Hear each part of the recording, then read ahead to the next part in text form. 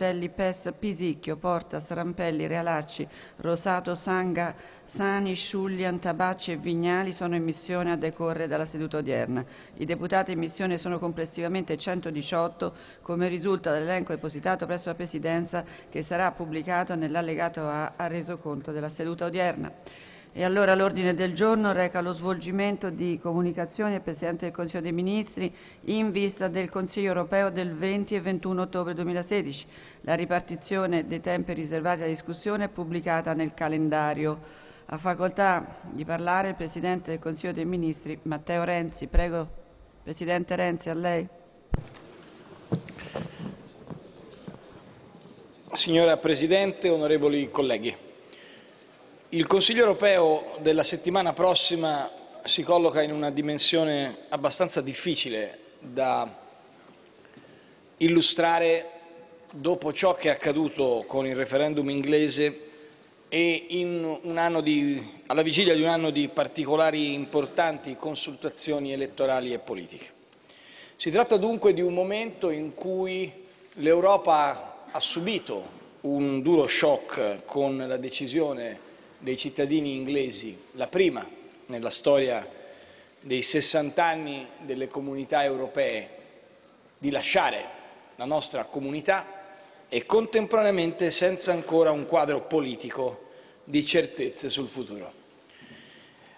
Non aiuta la nostra discussione, ma paradossalmente la rende ancora più importante ed urgente, il quadro politico internazionale. Presidente Obama in un importante articolo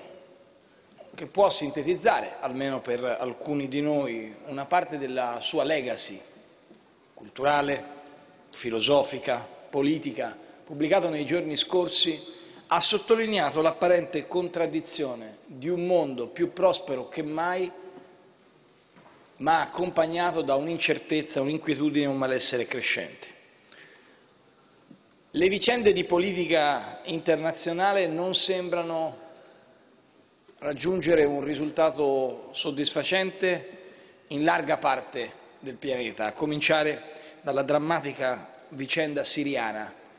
che pur apparendo e scomparendo in modo carsico sui media di tutto il mondo continua a mietere vittime, in particolar modo i più piccoli, i bambini. E contemporaneamente la risposta dell'Unione Europea sembra caratterizzata, avrebbe detto, ha detto Jürgen Habermas con un'espressione molto intrigante e interessante, da un frenetico immobilismo. Questa è la ragione per la quale, dopo una serie di appuntamenti preparatori, quello di Berlino, quello di Bruxelles e quello di Ventotene, dove avevamo immaginato di poter arrivare al summit informale di Bratislava di metà settembre con una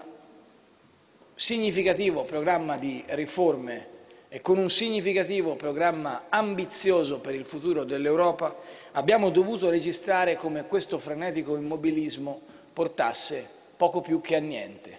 Un documento molto banale, una sorta di somma di tanti riassunti, un elenco di buone promesse assolutamente non all'altezza della grande sfida lanciata dall'uscita del Regno Unito dall'Unione Europea. Questo è lo scenario nel quale si colloca il summit della settimana prossima. E contemporaneamente noi abbiamo ben chiaro che il dibattito sull'articolo 50, cioè sulla procedura formale attraverso la quale il Regno Unito lascerà la nostra comunità, è comunque un dibattito che non può tenere ferme le istituzioni per un altro anno dopo che abbiamo passato quello appena trascorso prima a trattare una piattaforma che potesse essere sufficiente e soddisfacente per il governo inglese e poi a discutere degli esiti di quel voto. Se da qui al prossimo anno il dibattito politico europeo fosse soltanto sulle forme, le modalità, le procedure dell'articolo 50, ulteriore tempo sarebbe gettato via in un, in un momento storico nel quale tempo da perdere non lo ha nessuno. Si tratta dunque di provare a impostare una strategia differente, che è molto difficile, ma che è molto urgente per tutti, in particolar modo per quei cittadini europei più giovani che avvertono l'identità comunitaria come un elemento costitutivo del proprio DNA e che sono stati tra i più, tra i più eh, impegnati nel votare a sostegno del mantenimento dell'Unione del, di UK in Unione Europea e che più in generale mostrano in tutti i dati, i sondaggi, le indagini un desiderio profondo di vivere una ulteriore identità accanto a quella nazionale. Si tratta dunque di immaginare un percorso inedito. L'unico punto positivo che io vedo di questi mesi è stato aver fissato Roma 2017 come la data ultima di questo percorso. Dunque, il 25 marzo del 2017, 60 anni dopo la firma dei trattati istitutivi delle comunità europee, i 27 paesi che fanno parte dell'Unione Europea si riuniranno nella città eterna e proveranno a immaginare il futuro. È un appuntamento di grande rilievo per tutti, per chi crede che l'Unione Europea, come noi, debba essere declinata al futuro e per chi anche vuole contestare questa istituzione. L'incontro di Roma del marzo 2017 può essere uno spartiacque rilevantissimo, cruciale, decisivo. Perché questo accada occorre prendere atto che da parte di tutti, in particolar modo da parte di noi italiani, il tempo della proposta non può essere sganciato dalla constatazione che quando le cose vanno male bisogna dirlo. Dopo il summit di Bratislava, autorevoli commentatori hanno detto che l'atteggiamento del governo italiano di dire con forza che il vertice non aveva prodotto niente di significativo era un atteggiamento sbagliato e fuori luogo. Non è passato una settimana che il Presidente della Commissione, Jean-Claude Juncker, non è passato neanche una settimana e il Presidente della Commissione Jean-Claude Juncker si è recato in eh, una sede istituzionale ufficiale per utilizzare con le stesse parole per dare lo stesso giudizio che avevamo dato noi. E il fatto che il mancato riferimento all'Africa nel documento su Bratislava sia stato così duramente stigmatizzato da alcuni di noi ha portato finalmente a una rinnovata maturità, a una rinnovata attenzione sul tema che vede oggi alcuni autorevoli leader finalmente visitare alcuni tra i principali paesi africani e contemporaneamente vede il tema finalmente all'oggetto della discussione, all'ordine del giorno della discussione in modo meno superficiale del passato. Questo atteggiamento dunque italiano di stimolo e anche di determinata presenza, vorrei dire ingombrante presenza nelle discussioni, nel momento in cui è giusto far notare quando le cose non vanno e dirlo con grande forza, deve però richiamarci a una serie di impegni nostri. Non è un caso, io credo, che la settimana scorsa, su proposta del Ministro degli Affari Esteri e della Cooperazione Internazionale, il Consiglio dei Ministri abbia proposto l'istituzione di due ambasciate, una in Mali e una in Niger. Veniamo da un periodo nel quale si è pensato a lungo di chiudere le nostre ambasciate e le sedi delle ambasciate nel mondo. È stato un principio che comprendo, che capisco, legato a vicende di spending review, ma è anche vero che è difficile immaginare di avere una presenza forte italiana in Africa senza che alcuni Stati, nemmeno particolarmente lontani da noi, abbiano una presenza così significativa. Occorre dunque che anche nelle forme di revisione della spesa vi sia un sussulto di attenzione. È come quando si sono chiuse tante piccole stazioni dei carabinieri sparse per l'Italia. Ho detto in occasione pubblica l'inaugurazione della scuola dei marescialli e degli allievi maresciallo a Firenze che quel tempo è finito ed è chiuso, anzi la presenza sul territorio è cruciale. Vale lo stesso, permettetemi il paragone ardito, con la nostra presenza diplomatica particolarmente in Africa. Occorre avere una maggiore presenza italiana, non soltanto con i fondi della cooperazione internazionale, cosa che stiamo finalmente facendo dopo anni di silenzio e di tagli, ma occorre anche avere una maggiore presenza nostra, da tutti i punti di vista, da quello di natura politico-diplomatica a quello culturale, a quello sociale, a quello legato alla formazione delle forze dell'ordine e delle forze armate dei singoli paesi. È evidente che questo non basterà nel giro di qualche settimana a cambiare l'approccio dell'Unione Europea verso l'Africa, ma il fatto che finalmente il tema sia oggetto di attenzione meno episodica che in passato è un primo segnale di incoraggiamento che deriva dalla dura frizione registrata a Bratislava. Vi è un secondo elemento che riguarda ancora, almeno di striscio, la questione dell'immigrazione. L'Unione Europea si accinge a discutere del prossimo bilancio.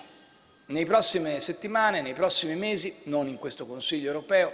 si tornerà finalmente a discutere della divisione del bilancio dell'Unione Europea. A mio giudizio è fondamentale che l'Italia sia promotrice di una posizione durissima nei confronti di quei paesi che fanno parte dell'Unione Europea, che hanno ricevuto molti denari dalla comune appartenenza, che hanno ricevuto molti fondi per rilanciare i propri territori e che in questa fase si stanno smarcando dai propri impegni di, assunti formalmente di ricollocazione degli immigrati. Lo dico perché su questo punto vorrei che il mandato fosse forte e fosse il più possibile ampio, non soltanto della maggioranza. Dire con chiarezza che ai compiti che derivano dall'appartenenza all'Unione Europea corrispondono uguali obblighi è un elemento a mio giudizio cruciale in questa fase. Agli aspetti positivi fare gli aspetti positivi vanno bilanciati anche con gli aspetti negativi o presunti tali. E se qualcuno si impegna a ricollocare fratelli e sorelle migranti che vengono da tutto il resto del mondo, è altrettanto evidente che bisogna dire che il bilancio dell'Unione Europea, che partirà dal 2020, dovrà fare chiaramente riferimento a chi dice sì e a chi dice no rispetto alla ricollocazione. Vi è poi un terzo elemento che trovo particolarmente significativo. Non è quello economico che sarà affrontato nel Consiglio di dicembre. Permettetemi di esprimere la mia valutazione sul fatto che soltanto in Italia le considerazioni che vengono dall'Unione Europea, dalla Commissione Europea, dalle istituzioni europee occupano pagine intere di giornali, mentre altri paesi sono molto più abituati a ricevere a cogliere i suggerimenti e poi a fare come meglio credono senza che si crei puntualmente uno psicodramma nazionale. Si spiega forse così la discussione sulle virgole che stiamo facendo anche in queste ore in Italia a fronte di un elemento oggettivo che è quello che l'Italia è il Paese con la rotta di discesa del deficit più significativa e che rispetto ad altri Paesi che vengono sempre citati come punti di riferimento della crescita ha un deficit che è inferiore alla metà, perché capite che una cosa è fare percentuali di crescita significative con il 2,4 di deficit, altra cosa è con il 5,1 di deficit. Ogni riferimento alla Spagna è puramente voluto. Il punto però del, che sarà affrontato nella discussione invece di eh, giovedì e venerdì della settimana prossima è riferito alla questione di politica internazionale. Discuteremo della Russia, sì certo, e di conseguenza discuteremo della Siria, della situazione drammatica del Medio Oriente e della necessità per i nostri paesi di svolgere un ruolo finalmente propositivo. Eh, questo appuntamento per l'Italia sarà preceduto da un eh, importante e rilevante meeting internazionale, la visita di Stato che il Presidente degli Stati Uniti ha chiesto al nostro Paese, per la quale ci ha invitato e che ci vedrà a Washington da lunedì a mercoledì. È un fatto particolarmente significativo perché avviene dopo un numero considerevole di anni, ma anche perché testimonia un rapporto molto forte tra gli Stati Uniti e l'Italia che il Presidente Obama ha definito nel messaggio al Columbus Day degli scorsi giorni, Columbus Day è oggi, ma il messaggio degli scorsi giorni, come il, un rapporto che conosce oggi il livello più alto della sua storia elemento dunque che ci inorgoglisce e che sinceramente corrisponde dal nostro osservatorio a verità. Mai come in questa fase l'Italia vede negli Stati Uniti il punto di riferimento della propria amicizia internazionale, ma anche della propria possibilità di crescita dal punto di vista economico, si parla molto della grande e importante relazione con il Far East, è vero, è straordinaria, è, è cruciale, tutti noi siamo impegnati, anche se abbiamo le nostre opinioni sullo status di economia di mercato per la Cina ed anche se abbiamo le nostre opinioni sul fatto che probabilmente l'Unione Europea debba scegliere una linea di politica commerciale che non sia tergiversante come quella che abbiamo visto sino ad oggi, dove tra Commissione, Consiglio e Parlamento ciascuno ha una propria opinione che non collima con quella degli altri. Ma il rapporto con gli Stati Uniti d'America è un rapporto che è a nostro giudizio cruciale anche sotto i profili economici. Non è un caso che dall'agroalimentare all'industria della difesa molte delle occasioni e delle potenzialità che sono oggi sul nostro scacchiere sono potenzialità che hanno negli Stati Uniti il punto di riferimento. Tuttavia, prima di ogni valutazione economica o politica o tattica c'è una convinzione profonda. Noi stiamo dalla parte degli Stati Uniti nella visione del mondo perché pensiamo che i valori di libertà e di lotta contro la paura e di lotta contro una visione catastrofista del futuro eh, incapace di dare alle democrazie e alla democrazia un ruolo anche per il domani, questo tipo di sguardo sul mondo sia uno sguardo che noi condividiamo profondamente con l'amministrazione guidata da Barack Obama. Noi pensiamo che stare dalla parte della libertà, dell'innovazione, della curiosità, del coraggio, del futuro significhi ad esempio votare a favore dell'accordo sul clima fatto a Parigi, in particolar modo su impulso americano e non solo, e mi spiace che non tutte le forze politiche che fanno riferimento alle varie forze politiche europee abbiano avuto la forza e il coraggio di votare a favore di un accordo che è cruciale per il futuro dei nostri figli. È per lo stesso motivo per il quale oggi, oggi noi siamo convinti che l'Unione Europea debba recuperare un elemento identitario e su questo chiudo. Discuteremo nel merito delle singole voci e io credo che sarà molto interessante coinvolgere le voci che sono arrivate dal Parlamento europeo. La prima, guidata da un'italiana, Mercedes Bresso, con Brock, un rapporto significativo che viene proprio dal Parlamento europeo in ordine al futuro delle istituzioni europee a trattati invariati. La proposta di Beres, quella di Boghe, quella di Verhofstadt. Il Parlamento europeo cioè ha messo in piedi gruppi di lavoro di diverso colore politico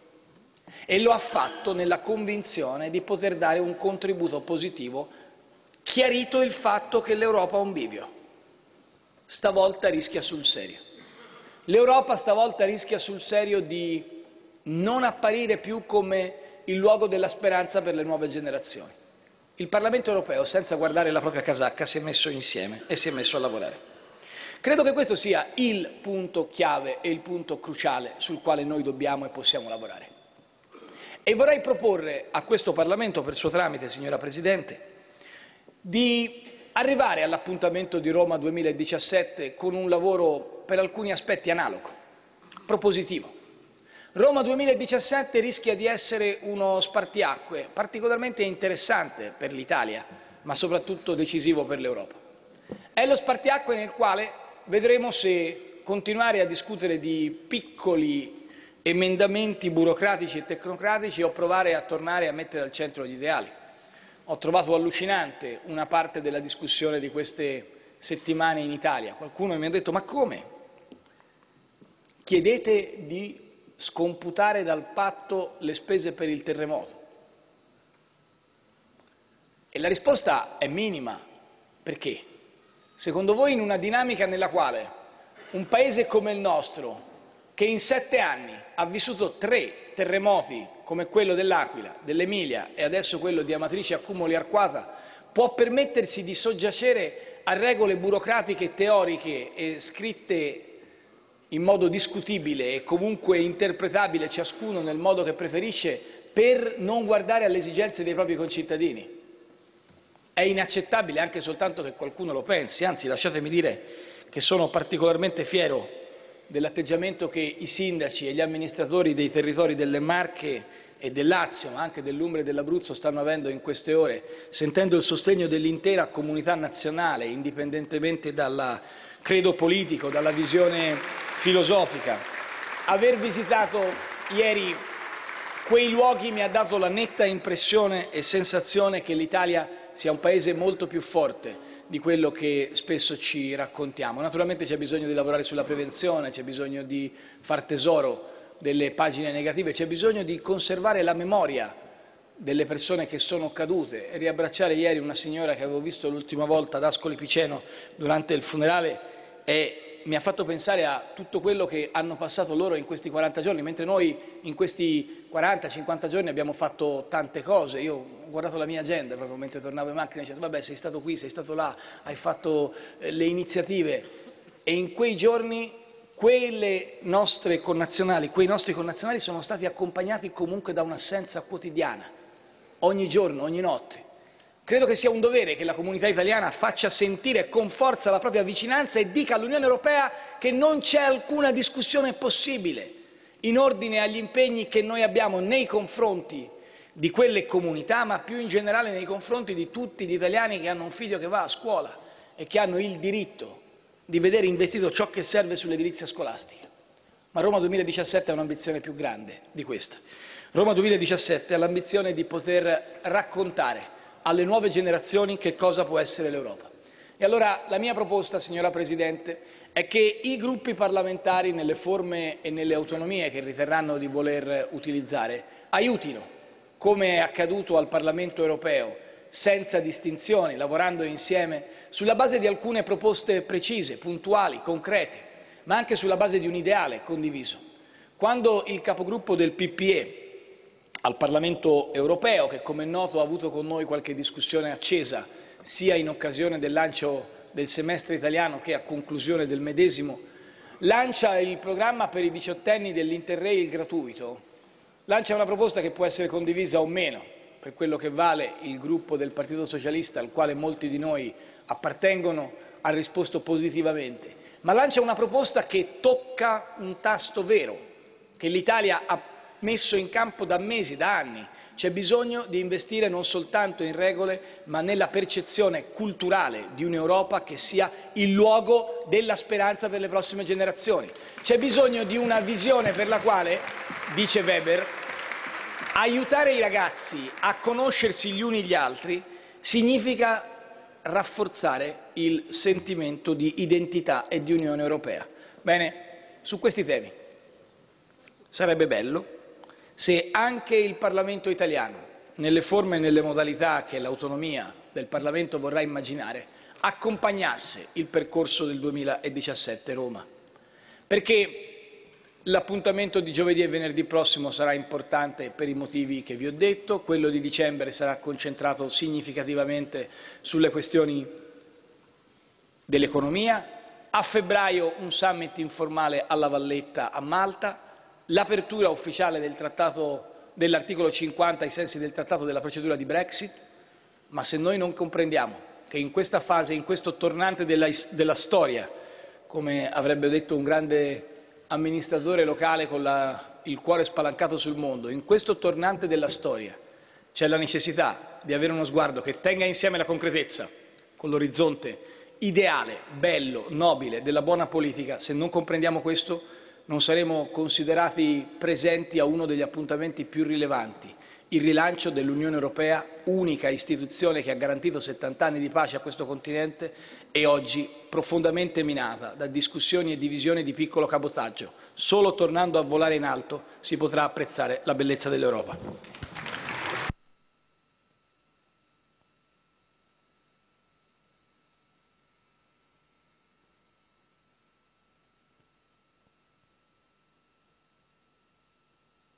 Grazie